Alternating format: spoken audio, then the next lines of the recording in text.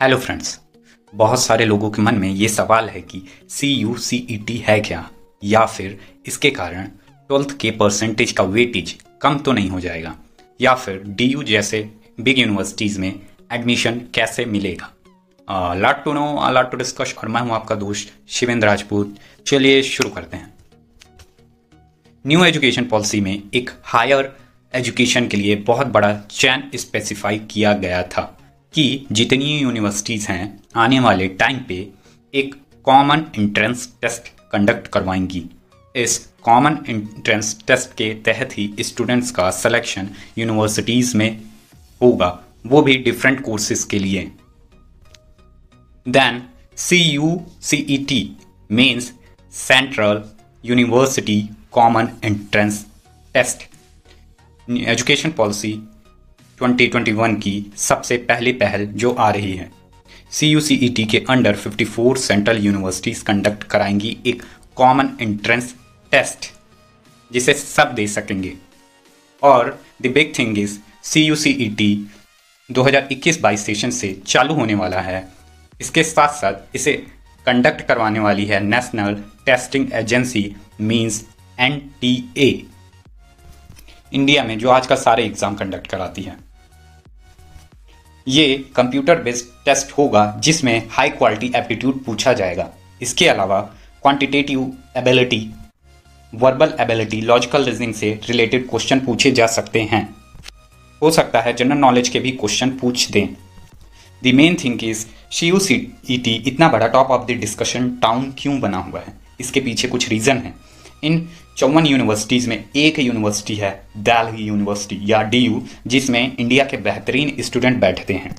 और इनका cut off भी उतना ही हाई जाता है। तो इस बार एक कॉमन एंट्रेंस टेस्ट होने वाला है।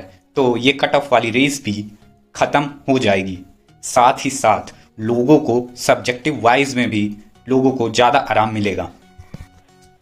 ऐसे बहुत से स्टूडेंट्स होते थे जिनके 95 परसेंट से ज़्यादा परसेंटेज होते थे, लेकिन उन्हें एंट्रेंस यूनिवर्सिटीज़ में नहीं मिल पाता था। अब ये समस्या भी नहीं आएगी, क्योंकि अब परसेंटेज के साथ साथ टैलेंट को भी मायने दिया जाएगा।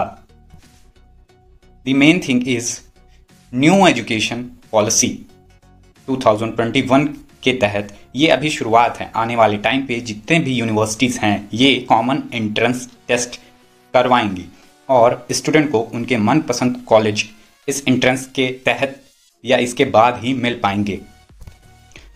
एक और इंपॉर्टेंट चीज़ कि एप्टीट्यूड इसमें पूछा जाएगा और हो सकता है साथ में सब्जेक्टिव एग्ज़ाम भी लिया जाए।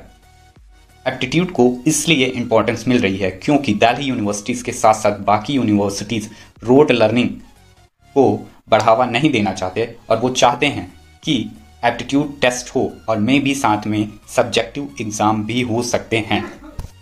अब बहुत बड़ा सवाल ये उठता है कि ट्वेल्थ के परसेंटेज की क्या कोई वैल्यू नहीं रह जाएगी? किसी को किसी भी कॉलेज में एंट्री के लिए ट्वेल्थ परसेंटेज मायने नहीं रखेगा।